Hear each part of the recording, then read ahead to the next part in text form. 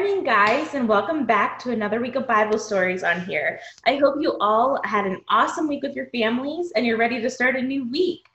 All month last month, we've studied two words that begin with the letter F. Do you guys remember it? If you do, yell it out. Yes, if you said focus and you said faith, you are correct. Um, what is faith? Hmm. Oh, shoot. Do you guys remember what it is? What is faith? What is faith? Faith is trusting in what you can't see because of what you can see. We've been putting our focus on faith all summer long, and we've got more to unwrap today. Okay, so before we get started with our Bible story, I'm going to read you guys a verse out of Philippians in chapter 4, verse 4. So if you have your Bibles, go ahead and turn to that um, that chapter. And if you don't, go ahead and grab it really quick and then come right back.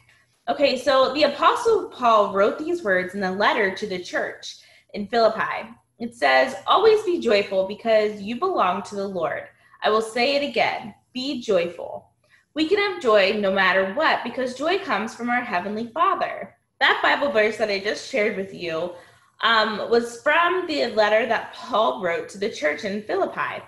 In fact, many of the books found in the New Testament are letters that Paul wrote. He wrote them to the new churches that were starting up all over as people heard about Jesus. Paul wrote the letters to encourage the new believers in their growth in faith. Listen to what Paul wrote to the church in Ephesus. This we're going to open up to Ephesians chapter 2 and we're going to read verses 8 through 9. So go ahead and open up your Bibles or you can follow along on on the screen. So it says, God's grace has saved you because of your faith in Christ. Your salvation doesn't come from anything you do, it is God's gift. It is not based on anything that you have done. No one can brag about earning it. There are a few words that Paul used that can be a little bit confusing, like grace, faith, and salvation.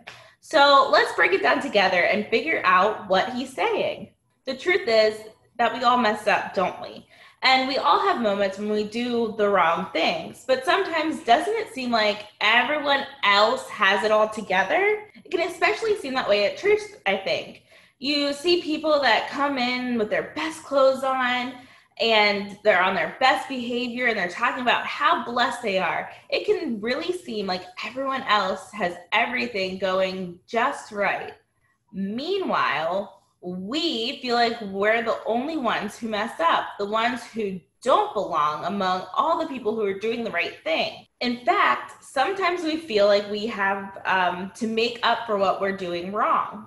We may try to do all the right things, doing our best to earn our way in into the church or into heaven. And we try our best to deserve God's love. But no matter how much we try to do these things perfectly, it seems like we'll never be perfect. And believe it or not, even though it looks like everyone else is doing it right, they mess up too. The great news is that you don't have to do everything perfectly to fit in. God loves and accepts you no matter what you've done. In fact, in His eyes, you are worth so much. You have great value. You are deeply loved and treasured. You can't work to earn God's love. The beautiful thing about God about God and his love is that all get it. Everybody gets it. We don't have to earn it. In fact, we can't. God's love and salvation he offers through Jesus is free to everyone who wants to receive it. It's a gift. But why do we need that gift? Hmm. Well, because none of us are perfect. We all mess up, we all sin.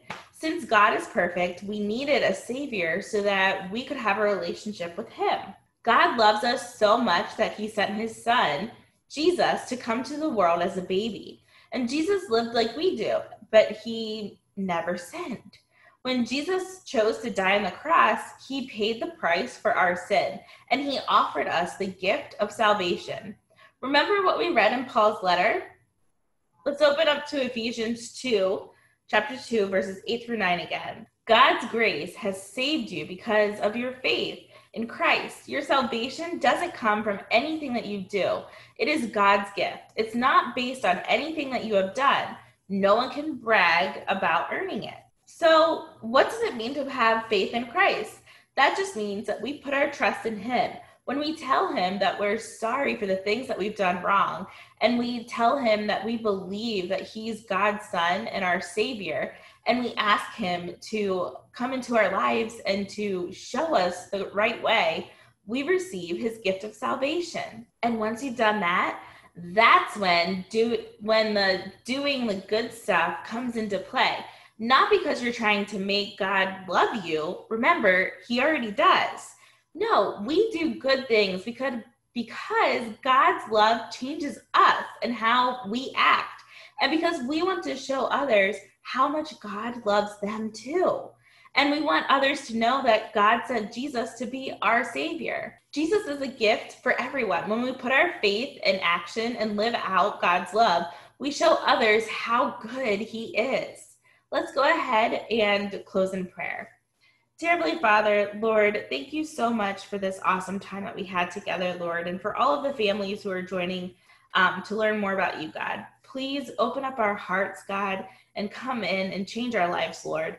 Thank you for sending your son so that we can have um, one day be with you in heaven, Lord. And please help us throughout this week to show someone um, your love, Lord and just let us be able to be a light for you, God. Thank you for everything that you do. In God's name we pray. Amen. Thank you guys so much for coming and watching another week of Bible stories on here. And I hope to see some of you um, at church today. Bye.